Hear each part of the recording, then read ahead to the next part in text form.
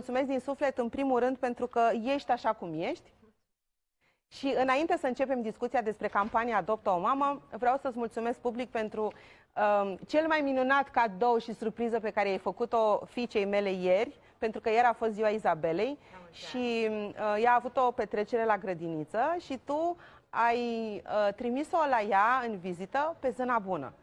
Pentru că, din fericire, noi am vorbit la telefon fix cu o zi înainte despre această emisiune. În, tu fără legătură te, cu Iza. Te pregătești uh, de petrecerea Izei și că urmează să fie ziua ei. Eu m-am bucurat foarte tare că noi suntem în București și am putut să fac asta. Știu că o iubește pe Zâna Bună foarte, foarte tare mult, da. și uh, de fiecare dată când pot să fac gesturi pentru oameni pe care îi apreciez și pentru uh, copiii lor, indiferent că este copilul Oanei Roman sau că este un copil al vecinei mele de scară sau un copil al femeii de la Asociația Taci, știu că nu poate fi măsurat în uh, cuvinte uh, momentul de fericire pe care el și îl nu, are. nu se poate exprima în cuvinte mulțumirea uh, din partea unui copil și bucuria lui. Uite, reacția ei când a văzut-o pe Zâna Bună a fost asta.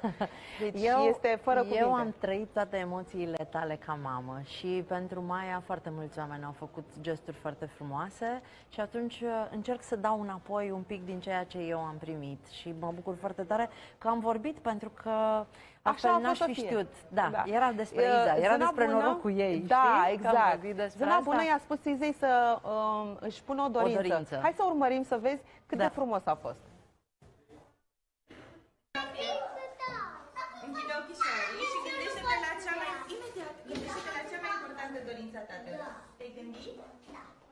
Să știi că nu o să mai faci niciodată 4 ani. O să faci și 5 și 10, dar 4 niciodată, așa că e importantă dorința asta. Numărați și voi împreună până la 4 și când ajungem cu numărătoarea la 4, îi să să sufleta de numărare, da? 1, 2, 3, 4! La mulți Cam așa a fost. Este Mulțumim. un ritual al momentului tortului, pentru că trebuie să le spunem celor care ne urmăresc că eu n-am uh, inventat gașca Zurli peste noapte. Gașca Zurli a luat ființă în urmă cu foarte mulți ani, iar în primii ani noi uh, trăiam din petreceri de zile de naștere, eram cei mai buni animatori din petrecerile de zile de naștere, iar eu am inventat foarte multe lucruri în zona asta, dorindu-mi să creez uh, momente memorabile pentru copii și exact. pentru părinți. Și atunci, din acel moment moment al tortului, care era doar un suflat în lumânări, am făcut un moment de pus dorințe. De... Mie îmi place să spun că nouă, când, erau, când eram mici, mi se spunea să ne punem dorințele în gând.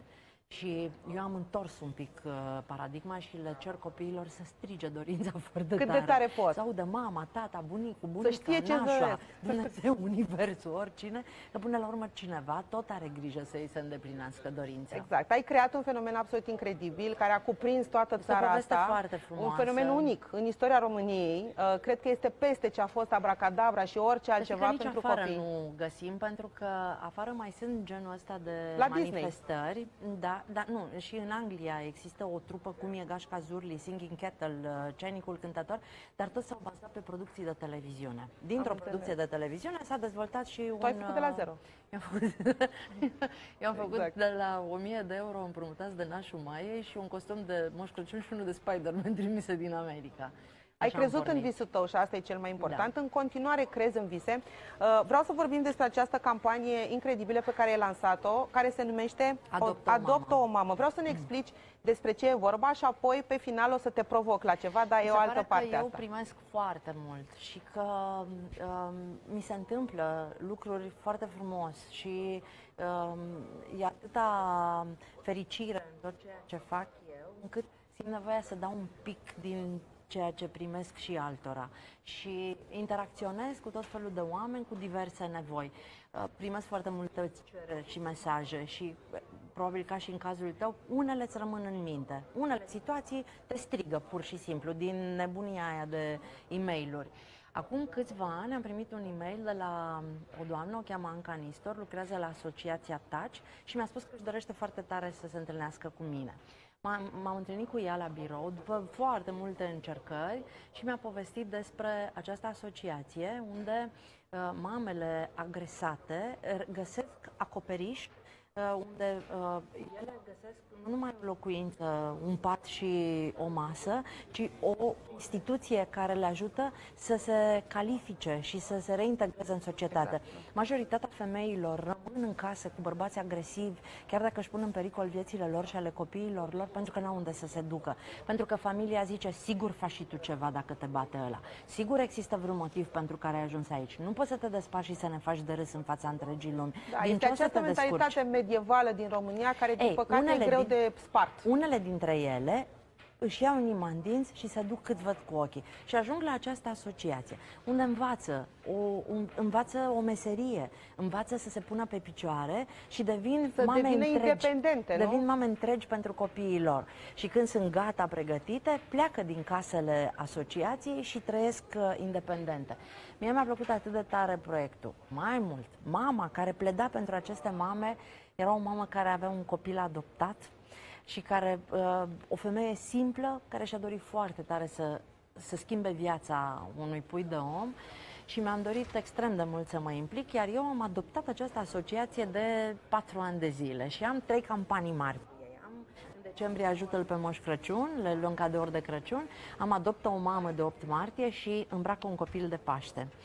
Okay, acum adoptă o mamă. Cea cu adoptă o mamă. Este la a patra ediție, iar eu mi-am dorit ca mame absolut normale, care nu au niște probleme majore, nu au un soț care le agresează, nu au un copil bolnav uh, incurabil, nu sunt ele într-o situație defavorizată, ci sunt niște femei normale pentru care muncii copilului sau alocația uh, luna asta este cea mai mare problemă, să pregătească daruri pentru aceste mame, să facă fiecare câte un, uh, câte un pachet.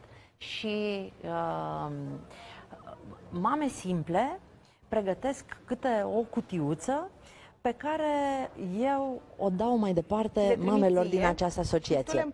Da. Bun. O să fac un eveniment pe 4 martie în care aceste peste 100 de mame vor fi invitate și le facem o petrecere. Ce frumos! Da, cu uh, catering, cu uh, flori, cu o să, o să le facem să se simtă Dacă absolut pot să ajut speciale. cu ceva, ori cu mare drag, Eu să te știi. invit, dacă ești aici Și pentru pe organizare 4, pot să da? te ajut Super. cu ce vrei. Vorbim. Până atunci însă îmi cer scuze că te întrerup.